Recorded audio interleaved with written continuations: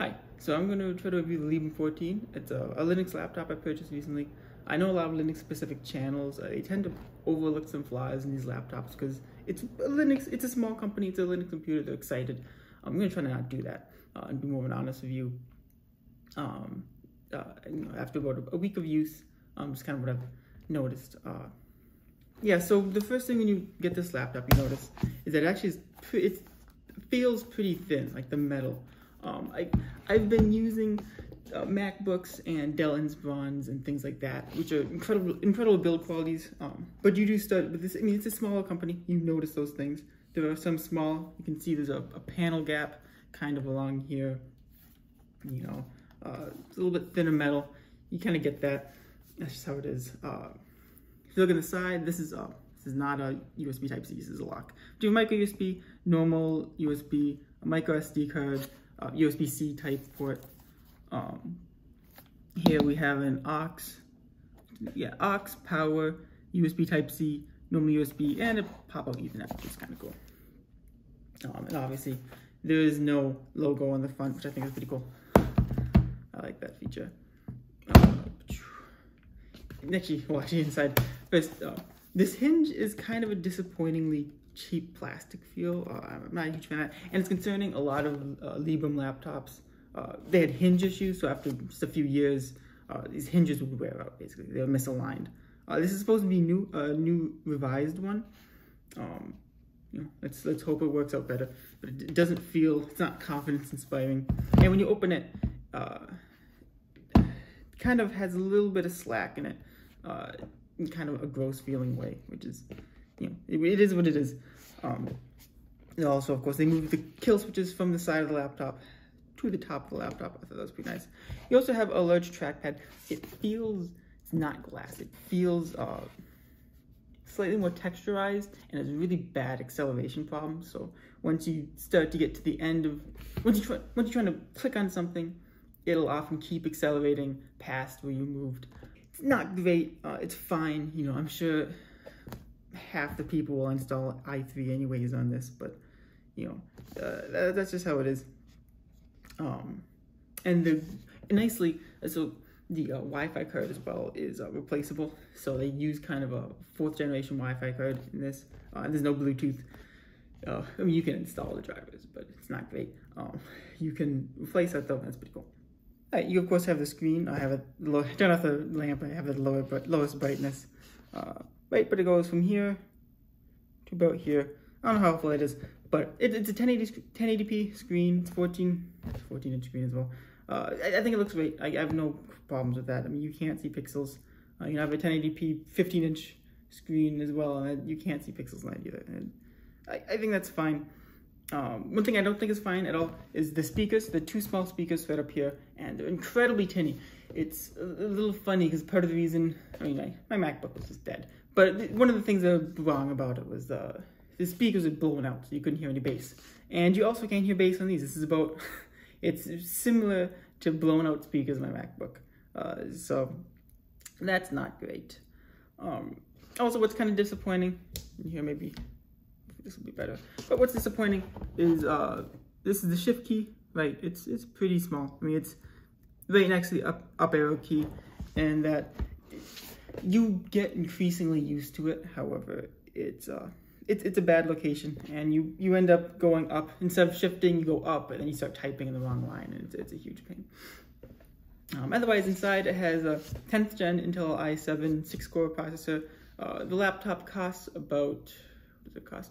Uh, for, for my build, it's 1857, so that's uh, 16 gigs of RAM and 500 gigabyte uh, SSD.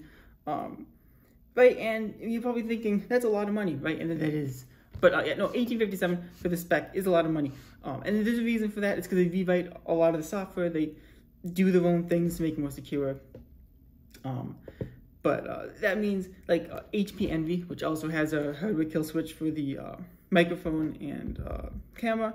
Uh, similarly, spec spec HP Envy with a new with a Intel i7 11th gen processor, uh, same amount of RAM and uh, hard drive space. Uh, it costs about $700, $700 less, right? It's a $1,100. Uh, you know, that's a tremendous amount of money. Um, and so, I mean, you should consider that. There are issues with uh, kind of Purism supply chain as well, right? So this laptop, uh, when they made it, though, there's a third-party supplier of the boards who, uh, presumably for production reasons, uh, they they just made they modified the board. And Purism didn't notice this. This only got caught by customers. Um, and you know, for security-focused laptop, that's not a good look. Uh, I'm not a huge fan of that. You know, I mean, I'm, I'm sure this is fine, but what you do see, like, it was, I think, two years ago, Lenovo got in trouble because they were inserting these spy chips into uh, server server grade hardware, basically, for Apple and some other companies. And it was, it was a big scandal, you know, and they've done things like this. And do I think they are uh, putting, you know, kind of quote unquote spy chips in this laptop to somehow, you know, read data make it easier for them to access if they wanted to. Probably not, but this is a this is kind of laptop that you know people would try to tamper with if they were ever going to tamper with a laptop. Uh, so you, you, that that should be considered. Uh, in my case, actually, uh, if you open the laptop up, which I have done, uh, they just put a piece of tape over over the modified piece of board, which which um, I think is symbolic of how Purism tackles a lot of things. So there's also the issue of uh, customer support. So Purism known for kind of they kind of have a reputation being a disorganized company.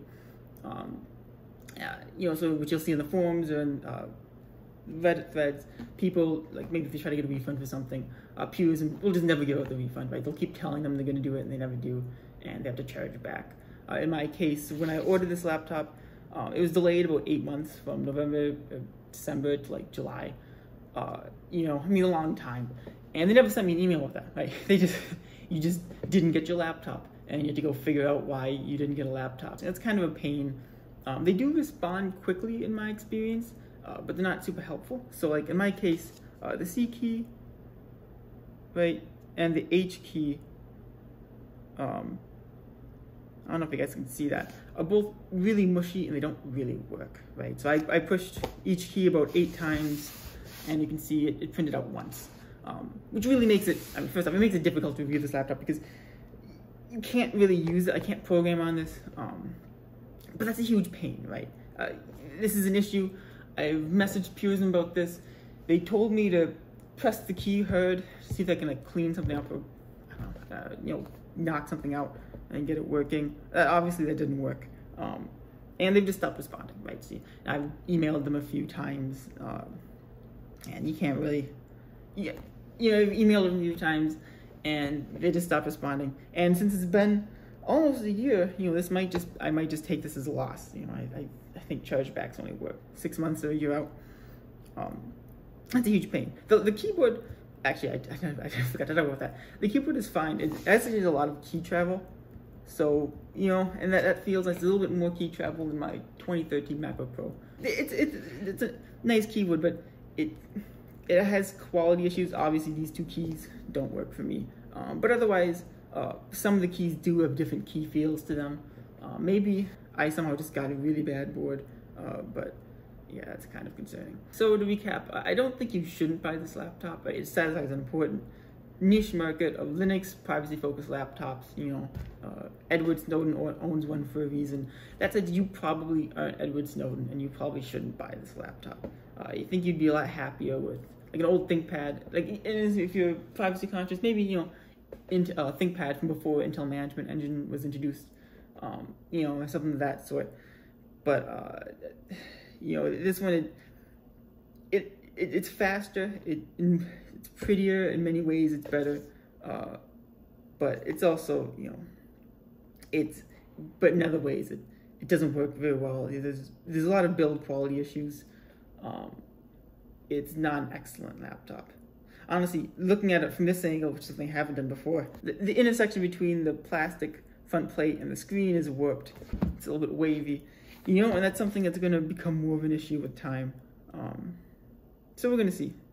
And also, I guess I should mention uh, both the operating systems. It uses uh, Pure OS, which is fine. It's it's Debian. That's, I mean, you can, if, if you want to see what that's like, uh, you should open. You should start a VM uh, put on a flash drive and try it out on your computer. And if you don't think you're technically capable of doing that, then you probably shouldn't get this laptop.